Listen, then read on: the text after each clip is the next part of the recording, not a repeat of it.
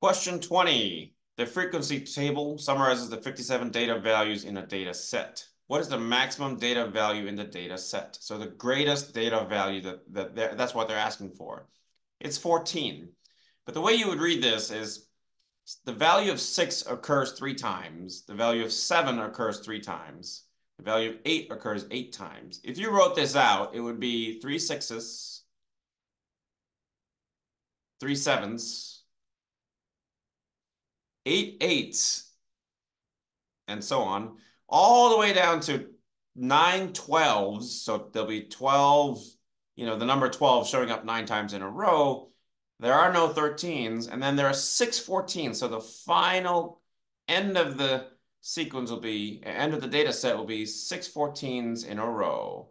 And that's the culmination of the entire uh, data set.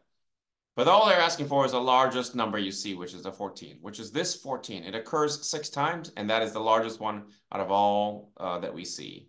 So the answer is simply 14.